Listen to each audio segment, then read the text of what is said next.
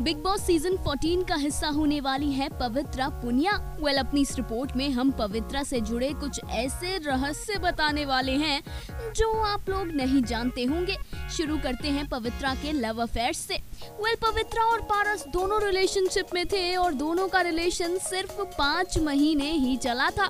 जी हाँ सिर्फ़ पाँच महीने ही पवित्रा और पारस ने एक दूसरे को डेट किया था। इसके बाद पारस ने एक इंटरव्यू देते हुए ये कह दिया था कि पाँच महीने काफ़ी होते हैं आपके लिए किसी दूसरे शख्स को जानने के लिए।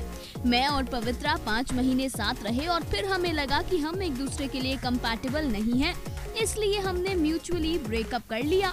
दूसरा फैक्ट सिद्धार्थ शुक्ला से जुड़ा है। पवित्रा पुनिया का नाम सिद्धार्थ से भी जुड़ चुका है। जी हाँ पवित्रा और सिद्धार्थ एक साथ एक शो कर रहे थे।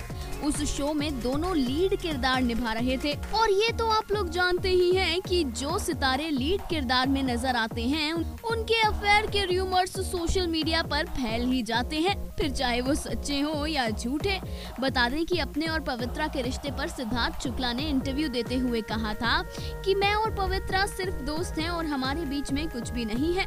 वही पवित्रा पुनिया, ये है मोहब्बतें, कवच, ससुराल सिमर का नागिन थ्री और बालवीर रिटर्न्स जैसे सीरियल्स में नज़र आ चुकी है। बात अगर पवित्रा के डेब्यू की करें तो उन्होंने साल 2009 में स्प्लिट्स विला से अपने करियर की शुरुआत की थी।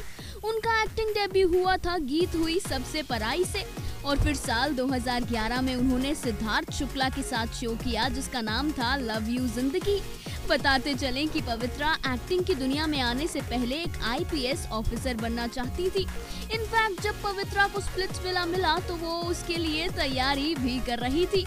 वहीं ये भी बता दें कि पवित्रा पुनिया का असली नाम पवित्रा नहीं है। पवित्रा ने न केवल अपना नाम बल्कि इंडस्ट्री में आने के लिए अपनी सरनेम भी चेंज की। पवित्रा का रियल नेम है नेहा सिंह। जी हाँ नेहा सिंह है पवित्र पुनिया का असली नाम। तो ये थे पवित्रा से जुड़े वो सीक्रेट्स जो आप लोगों के लिए जानने थे ज़रूरी। वेल well, पवित्रा अब बिग बॉस 14 में आ रही है। We wish her all the luck for this new journey final cut Entertainment Desk.